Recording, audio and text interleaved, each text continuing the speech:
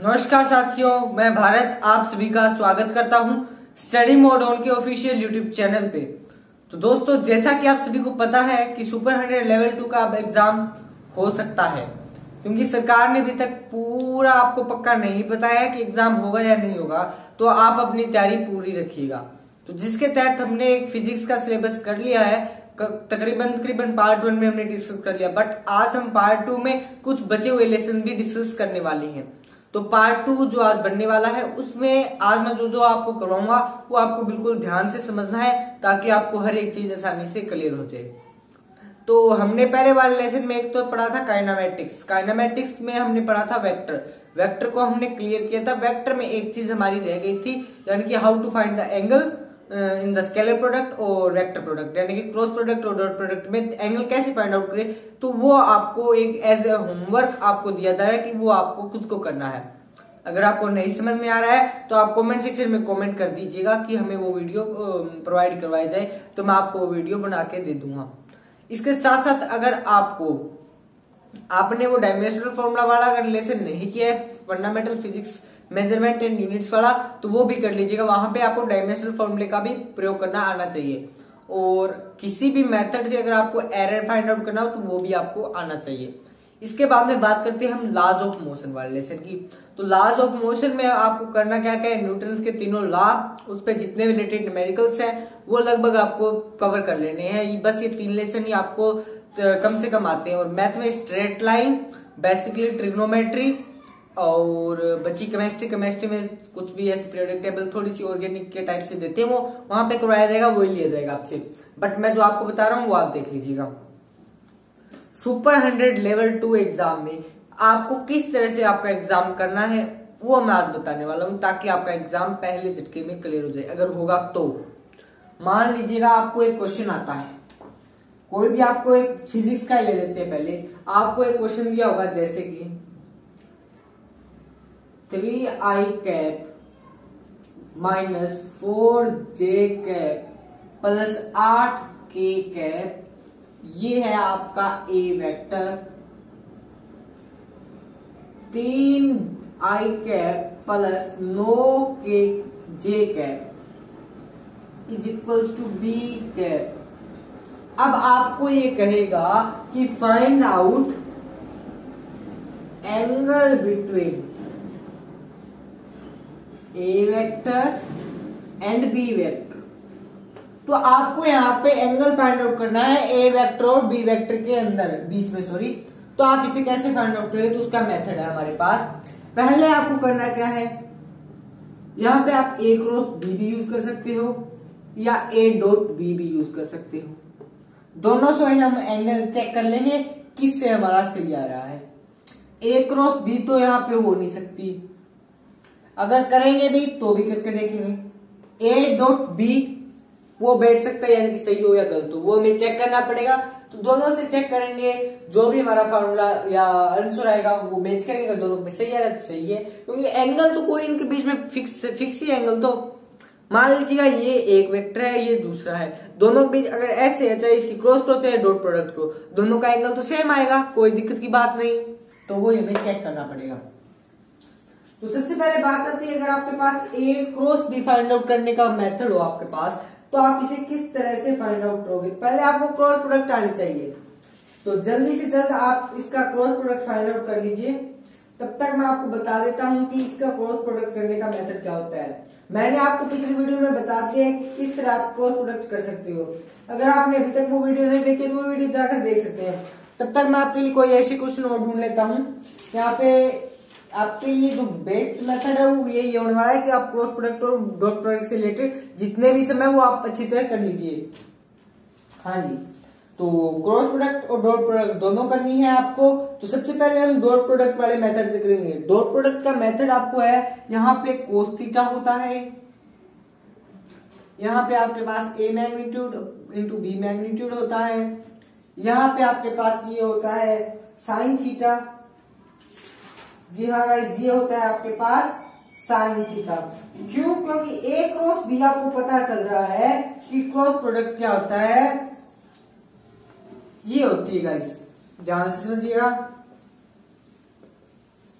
That should be cross अब आपको इस मेथड से फाइंड आउट करना है। दोनों मेथड आप यूज़ कर सकते हो और इनसे आपको फाइंड आउट करना है। यानी कि पहले आपको क्रॉस प्रोडक्ट फाइंड आउट करेंगे।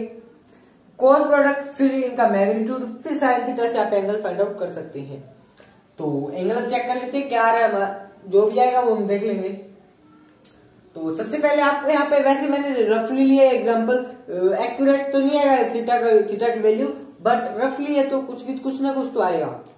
तो सबसे पहले हम डॉट प्रोडक्ट से चेक करते हैं। डॉट प्रोडक्ट का मतलब आई वाले कंपोनेंट के आई के साथ जे के जे के साथ के के के के साथ। तो ये आएगा आपके पास थ्री यहाँ पे लिख रहा हूँ A dot P three three जा नाइन माइनस फोर नाइन जा यहाँ पे ऐसे करते हैं, ये भी माइनस का कर लेते हैं। फोर नाइन जा, नौ चौके छत्तीस होता है, छत्तीस वो भी प्लस का। बस, प्लस ज़ीरो इक्वल्स टू, छत्तीस और नौ, पैंतालीस। ये आ गया आपके पास पैंतालीस। ठीक है गाइस अब आपके पास पैंतालीस आ गया तो अब आपको कोस थीटा फाइंड आउट करना है। तो इससे पहले आप ए मैग्नीट्यूड फाइंड आउट करें। इसके इसके नौ सोलह और चौसठ।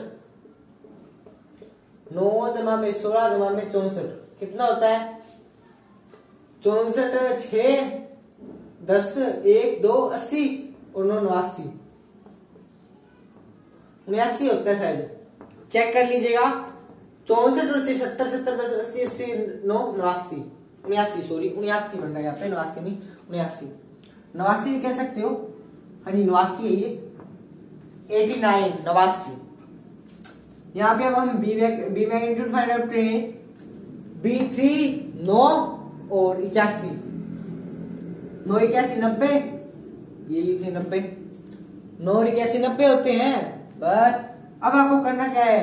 फोर्टी फाइव अपॉन में eighty nine under root under root nineteen is equal to sine theta theta आपके पास क्या आ गया? Sine forty five under root eighty nine under root ninety ये आपके पास थीटा की वैल्यू आ गई। अब इससे और चेक कर लेते क्रॉस प्रोडक्ट से पहले क्रॉस प्रोडक्ट करनी पड़ेगी। तो यानी कि आई वाले लेंगे तो ये ये, ऐसे नहीं, इसको आप ऐसे लिखो। पहले आई जे के आई में क्या है? तीन तीन। माइनस चार, माइनस नौ। यहाँ पे आपके पास क्या है? आठ और ज़ीरो। आई वाले लेंगे तो ये छोड़ेंगे। तो इसका आएगा थ्री दिखाई दे रहा हो आपको थ्री फिर ये minus four zero zero minus eight और नाइन नॉट बेहतर और प्लस का बेहतर। फिर माइनस ये माइनस ऑलरेडी था तो माइनस माइनस प्लस माइनस चार ये ये ये ये छोड़ा ज़ीरो आठ चौके चौबीस, वो भी माइनस का। प्लस आठ ये छोड़ा ये छोड़ा थ्री नाइन जा उनतीस ताइस माइनस ताइस और प्लस बारह। माइनस ताइस प्लस बारह, पंद्रह, वो भी माइनस के। अब आप इसे कैलकुलेट करेंगे। कैलकुलेट कैसे करेंगे, वो भी देख लीजिएगा। इधर वाला रफ कर रहा हूँ मैं।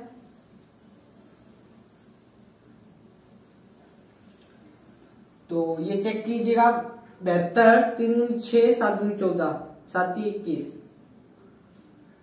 दो सौ सोलह, बहत्तर, सेवेंटी टू थ्री जा two one six, minus four six, four two जा एट एट नाइन, माइनस पंद्रह अट्ठे एक सौ बीस। अब आप इसे कैलकुलेट कीजिएगा। Six, two one six, minus six, two one six. तो ये ज़ीरो आ रहा है। ज़ीरो आ रहा है। देखिए यार छियानवे, एक सौ बीस, दोनों हो गए दो सौ सोलह, दो सौ सोलह माइनस दो सौ सोलह, ज़ीरो। अब आपके पास ये ही चीज़ ज़ीरो आ रही है तो अब इसका मतलब क्या हुआ? आपकी जो क्रॉस प्रोडक्ट है, वो आ रही है आपके पास ज़ीरो। तो इसका मतलब आपका फॉर्मूला बन गया। अब इधर वाला रफ कर देते हैं। A cross B is equals to cos theta sorry sine theta में इसका फॉर्मूला कोस थीटा में बट ऐसे होता है। B magnitude and cos theta ठीक है? सॉरी यहाँ पे साइन थीटा होता है, और इस तरफ़ कोस थीटा ठीक है? तो फिर ये देखिएगा साइन थीटा आ गया तो ये साइन थीटा इधर आया। ज़ीरो अपॉन में अब ये तो हमारे पास सुटेबल है नहीं, इसको जब चेक कर लेते हैं। ए मैग्नीट्यूड बी मैग्नीट्यूड तो ए ज़ीरो भी चीज़ से डिवाइड करो, वो ऑलरेडी होता है ज़ीरो। तो यानी कि sine theta is equal to zero आ गया। तो यहाँ पे आपके पास थीटा क्या आएगा? साइन ज़ीरो ज़ीरो होता है तो थीटा की वैल्यू आएगी ज़ीरो। यानी कि ये दोनों वेक्टर एक दूसरे के पैरेलल है। नहीं, ये तो बिल्कुल रॉन्ग हो गया। क्यों? क्योंकि आपको पता है इनका रेशियो जो है वो सेम नहीं है तो आपका इक्विलेट एंगल ये आएगा। कर लेना यहाँ पे कोस थीटा लिख दीजिएगा। समझ आ गया? तो अगर समझ आ गया तो वीडियो को लाइक और चैनल को सब्सक्राइब कर दीजिएगा। आपको इसी तरह से फाइंड आउट करना है। मैंने आपको फॉर्मूले बता दी किस फॉर्मूले से आपको करने हैं। बाकी आप चेक कर लीजिए, भाई आपको कैसे इस सम को सोल्व करने हैं। अब आपका ये जो फिजिक्स का तकरीबन तकरीबन पूरा सिलेबस आपका पूरा हो चुका है। मेरे पास फिजिक्स की बुक नहीं है, वरना मैं आपको फिजिक्स का जो न्यूट्रंस वाला लेसन है, वो भी मैं आपको कवर कराता। बट अब जैसे भी होगी, मैं किसी से बुक्स लेऊँगा, किसी से या कोई दोस्त दास से बुक लेने की कोशिश करूँगा, अगर वो बुक दे देगा तो मैं आपको न्यूट्रंस वाला लेसन भी करवा दूँगा। उससे पहले, अगर आपने अभी तक सुपर हंड्रेड से रिलेटेड लेवल वन और लेवल टू की वीडियोस नहीं देखी है तो वीडियो का लिंक आपको डिस्क्रिप्शन में मिल जाएगा तो वहाँ से जाकर आप वीडियो को देख सकते हैं। और अगर आपने अभी तक चैनल को सब्सक्राइब नहीं किया चैनल को सब्सक्राइब करके बेल आइकन को प्रेस कर दीजिएगा, ताकि आपको हमारी हर लेटेस्ट अपडेट सबसे पहले देखने को मिले। Thanks for watching video